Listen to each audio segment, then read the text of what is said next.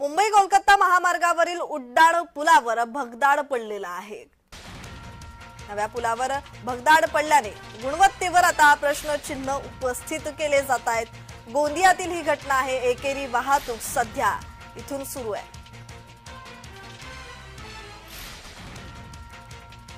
तर मुंबई कोलकाता महामार्गावरील भगदाड पडलंय तर नव्या पुलावर भगदाड पडल्याने आता याच्या गुणवत्तेवरच प्रश्नचिन्ह उपस्थित केले जात आहेत. ही गोंदियातील घटना आहे आणि या रस्त्यावरून आता एकेरी वाहतूक सुरू आहे. त्यामुळे आता वाहन चालकांनाही याचा त्रास सहन करावा लागतोय.